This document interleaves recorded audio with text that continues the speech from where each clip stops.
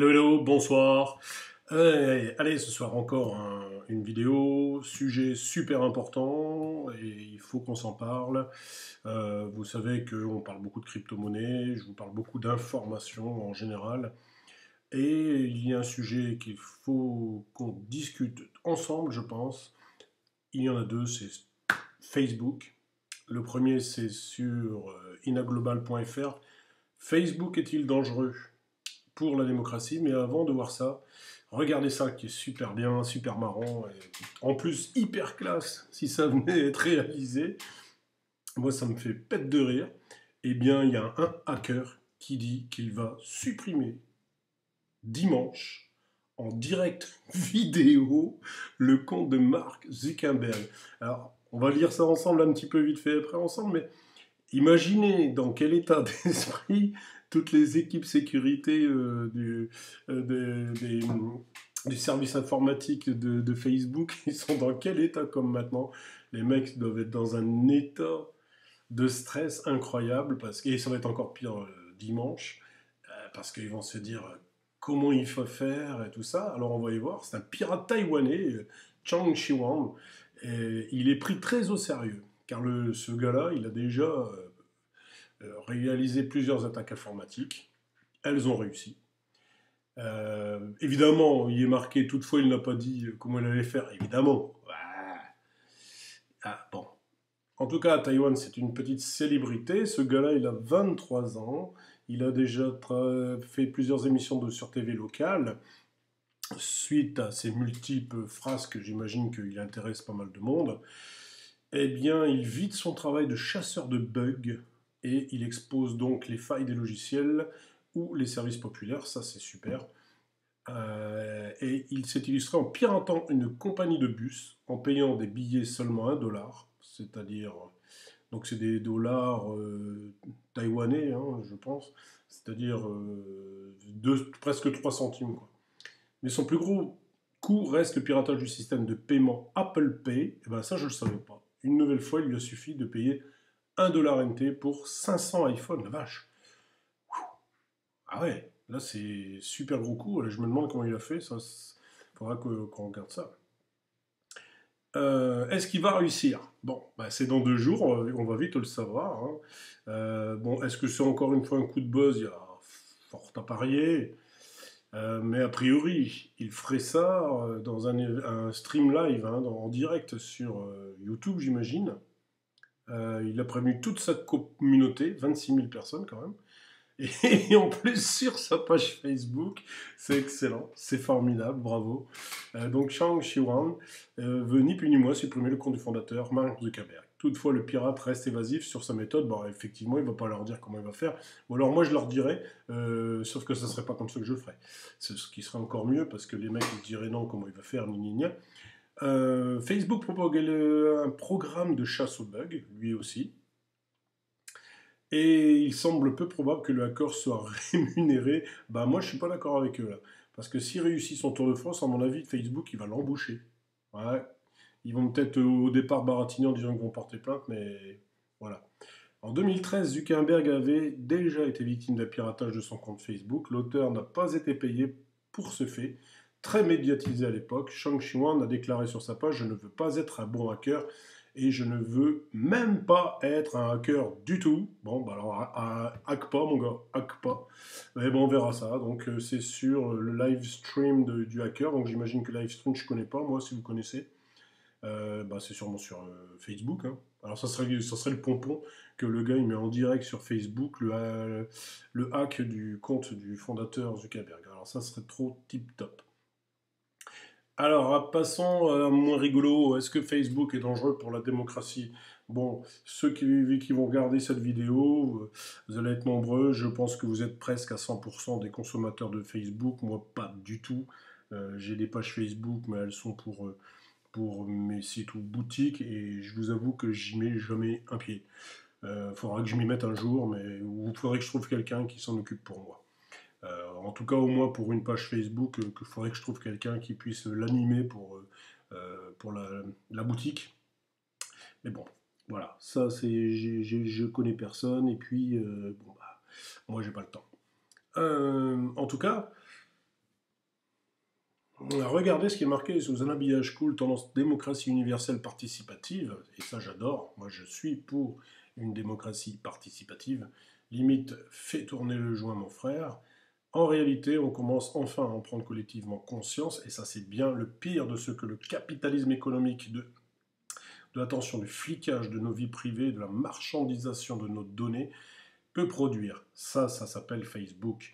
Euh, en tout cas, n'oubliez pas ça, la marchandisation de nos données personnelles. À chaque fois que vous êtes sur ces choses gratuites, euh, n'oubliez pas que le produit, c'est vous que ces gens-là gagnent des milliards sur votre dos. Euh, et pire que tout, on appelle ça la marchandisation de nos données personnelles. Moi, j'appelle ça la marchandisation humaine. Parce qu'en fait, vos données, c'est ce qui fait vous. Et donc, on vous vend à votre insu. Et vous en êtes complice puisque vous utilisez des services qui euh, vous demandent de valider leurs conditions D'ailleurs, je ne sais pas si vous avez euh, utilisé récemment, par exemple, euh, eBay en tant qu'utilisateur. Euh, il vous balance une pop-up et il y est marqué accepter ou, refuser nos conditions. Donc ça, c'est les RGPD. Et vous pouvez, il y a une case, regardez bien sur le pop-up pour aller voir ce que vous pouvez accepter ou pas. C'est-à-dire la personnalisation, il est marqué. Voilà, c'est ça. Moi, j'y suis allé. J'ai tout décoché. Et puis, euh, vous avez des petits boutons pour dire oui ou non. Et, en dessous de ces petits boutons, regardez bien, puisqu'il est marqué nos partenaires. C'est effarant. Absolument effarant. Absolument effarant. Vous prenez euh, n'importe quel euh, endroit, prenez celui qui vous semble le plus anodin. Il doit avoir 5 ou 6 répertoires à valider ou dévalider. Moi, je les ai tous dévalidés, ou invalidés, pardon. Mais allez regarder un, je crois que dans les deux ou trois derniers, allez en voir un seul. Eh bien, regardez, il y a au moins 50 à 100 partenaires rien que sur une seule rubrique sur eBay. C'est-à-dire qu'il doit avoir 6 rubriques, ça doit faire entre 600 et 1000 partenaires. Donc tous ces gens-là, chaque fois que vous allez sur votre compte eBay, ils reçoivent vos données. Et quand ils reçoivent vos données, ils payent eBay pour les recevoir et vous, vous avez dit OK. Hein. Donc euh, allez faire un tour, mais c'est effarant, parce que je suis sûr que vous êtes comme beaucoup de gens, euh, vous avez, euh, vous acceptez ou je refuse là pour les, cookies depuis le RGPD du mois de juillet, et tout le monde, bah, vous appuyez sur accepter, bah, faites refuser, ou alors demandez à personnaliser. Bah, vous allez voir sur les, sites, c'est effarant le nombre de, de personnes qui reçoivent vos données, et vous vous en rendez même pas compte. C'est effarant, je vous le dis. Allez faire un tour et si ça vous intéresse, on peut se faire une vidéo, je vous ferai voir, il faudra que je retrouve ça. Euh, pour le démontrer, il suffit de s'appuyer sur un document de référence. Il s'agit de la lettre ouverte publiée en février 2012 pour attirer les investisseurs à l'IPO, donc pour l'introduction en bourse. Donc ça, c'était quand euh, Facebook euh, s'est introduit en bourse. Il y a déjà 6 ans, hein, ça passe vite, 6 hein. ans et demi, la vache. Euh, et quand on croise la réalité des faits avec cette déclaration officielle, dont sont extraites toutes les citations à venir de Mark Zuckerberg, il y a un océan d'hypocrisie. Donc là, je suis bien toujours sur le site inaglobal.fr. Les relations sont la façon dont nous découvrons de nouvelles idées.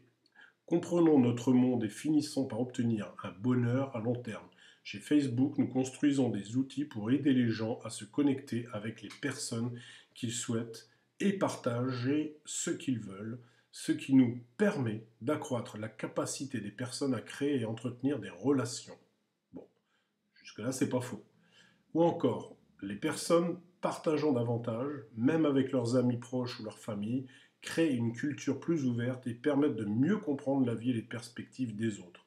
Nous pensons que cela crée un plus grand nombre de relations plus fortes entre les personnes et que cela aide les gens à être exposés à un plus grand nombre de points de vue différents. Alors, là, je suis d'accord avec eux, mais là, c'est de la connerie. Ça, permet surtout aux haineux et à la haine de monter parce qu'ils ne luttent pas beaucoup. Ils ne luttent pas beaucoup contre les fake news, euh, les rumeurs, euh, les, agressions, euh, les, mensonges, la vulgarité, enfin toutes ces saloperies qui existent dans la face, le côté obscur humain. En tout cas, ils ne luttent pas assez contre ça. Et d'ailleurs, remarquez bien que je ne vous dis pas de bêtises, ils ne disent ne lutter contre ça que quand il y a un, bad buzz envers eux. Parce que le nombre de gens qui se plaignent d'être agressés sur Facebook, insultés ou autre, c'est effarant et il se passe rien la plupart du temps. Euh, en France, il faut porter plainte et ça bouge lentement, mais dans d'autres pays, il se passe absolument rien. Ce garçon est-il niais? Croit-il lui-même à pareille fadaise angélique? Ou machiavélique? Serait-il un discours pseudo-virtueux pour mieux attraper le gogo? Il n'en reste pas moins que l'analyse, si on peut dire, ne tient pas la route. Bon, alors où veut en venir notre ami? Le philosophe John Batou. Facebook propose un monde où la dimension de la contradiction, de l'adversité, du conflit est tenue dans une orbite morte de refoulement. Putain, le gars, là, tu pourrais parler plus, quand même plus cool et plus simple, parce que là, franchement, il va falloir y passer une demi-heure pour comprendre ta phrase. Hein. Euh, un monde où la dimension de la contradiction. Alors, ça veut dire que là où il y a de la contradiction, de l'adversité et du conflit, on le maintient dans une orbite morte de refoulement. Alors, une orbite, je comprends, morte de refoulement. Euh, si vous comprenez, euh, ça veut absolument rien dire. Hein, une orbite morte. Donc, ça veut dire que tout ce qui est par rapport à ce que vous dites sur Facebook contre ce que vous dites, c'est autour de vous. Jusque-là, je suis OK. Mais ce qui est autour de vous, c'est mort de refoulement. Ça ne veut absolument rien dire c'est euh, de l'évitement et de déni. Donc cette phrase n'a absolument aucun sens. L'illusion que nous sommes tous des amis, ça c'est bien vrai. Dès lors qu'on appartient au même groupe Facebook, la présence du seul bouton like, comme si le dislike ne pouvait exister, c'est d'ailleurs une grosse erreur que Facebook fait, puisque vous savez que sur YouTube, on peut avoir le pouce en haut, mais aussi le pouce en bas. Et ça c'est bien. Donc on nous dit que ce discours de déni, de la méchanceté, oui, et du conflit, d'une rare indigence intellectuelle, là je suis d'accord, parce que c'est sûrement sur Facebook qu'il y a le plus de méchanceté et de conflit, quand on voit qu'on peut y trouver des, vidéos de Daesh, euh, ou même euh, j'ai vu des vidéos de décapitation d'une femme, ou euh, qu'on met le feu à une femme, même si voilà, on peut en penser ce qu'on en veut en Amérique du Sud. voilà, je comprends pas qu'il y a n'y a pas un logiciel qui, peut analyser ça, vous allez me dire c'est peut-être compliqué. La haine s'invite facilement dans les millions de messages quotidiens. Facebook n'échappe pas à l'ensauvagement du web, ça je suis bien d'accord. Au plus ils veulent le contrôler, plus c'est violent. Et plus les gens contournent d'ailleurs, et vous remarquerez que si depuis 15-20 euh, ans que Facebook, euh, et surtout plutôt pardon, euh, Internet est apparu, plus ils veulent le contrôler, plus chaque année on vous entendait parler de ci, de là, du dark web. Et je pense que malheureusement, ça va être de pire en pire. Euh, l'association Respect Zone qui milite contre la cyberviolence, il s'agit d'analyser un échantillon de 10 000 commentaires sélectionnés aléatoirement sur les pages Facebook de 24 grands médias français. L'étude recense sur 12 mois tous les messages, incluant des injures. Donc ben voilà de ce que je vous parle les journalistes comme Merdia et Journalop. Alors, sur 12 mois tous les messages incluant des injures ciblant spécifiquement. Oui, mais alors là, c'est pour eux parce que franchement, euh, moi je suis assez d'accord avec ça, surtout en France. Euh, bon, ça, je, ne connaissais pas les Journalop, mais les Merdia, alors là, je suis totalement d'accord, vous le savez, je ne m'en cache pas. Et moi, je vous incite et je vous invite à vous renseigner et aller chercher des infos ailleurs que ce qu'on voit vous laissez pas intoxiquer par les, soi-disant grandes chaînes euh, qui veulent vous dire comment vous devez penser euh, pour euh, vous dire que si vous ne pensez pas comme eux, eh ben, vous n'êtes pas quelqu'un de bien. Moi je vous dis c'est faux, vous avez le droit de penser ce que vous voulez et vous devez combattre tous ceux qui vous disent le contraire, c'est eux les gens pas bien et c'est eux qui ont une mauvaise pensée, qui ont un mauvais esprit. Selon l'étude, 45 000 messages de commentaires cyber-violents sont recensés par mois, ça me paraît peu, à l'encontre des journalistes et de leurs médias. C'est très très peu. Moi, je, suis, je pense qu'il y en a bien plus que ça, parce que les gens euh, ont marre de ces journalistes euh, politiquement engagés et qui sont des donneurs de leçons. Parce que si c'est vrai leur truc, ça représente 1%. Donc euh, franchement, là, on nous parle d'un truc à la mort moelle Ça n'a pas de sens de nous emmerder pour 1%. Ce qui est certain, c'est que ces gens-là disent que Facebook est dangereux parce que 1% des commentaires attaquent les journalistes. Donc c'est vraiment des gens qui prêchent pour eux. Euh, moi je pense qu'effectivement Facebook c'est une vaste fumisterie, c'est sûrement pas un, lieu de tranquillité, mais c'est aussi un lieu d'échange. Euh, c'est pas Facebook qui doit être mis en cause, c'est nous, c'est vous. Euh, Facebook, c'est comme tout le reste, c'est ce que vous en faites, c'est ce que nous en faisons. Et faut bien reconnaître qu'il y a des bonnes choses aussi. Par exemple, je connais des gens qui ont retrouvé de la famille très éloignée qu'ils n'ont jamais vue et qu'ils n'auraient jamais vu sans Facebook et qui, euh, euh, grâce aux, facilités de voyage d'aujourd'hui, vont dans des pays où ils ne seraient jamais allés et retrouver des gens qui sont de la famille éloignée et qui viennent leur parler de leur grand-père et qu'ils ont connu, ou de leur papa et maman euh, directement. C'est formidable. Donc c'est vraiment ce que vous en faisiez, ce que nous en faisons. Euh, maintenant, le côté euh, marchandising de, nos données, ça c'est du bullshit énorme.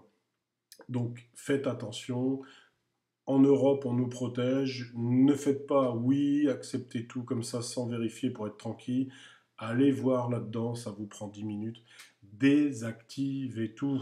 Soyez plus une marchandise.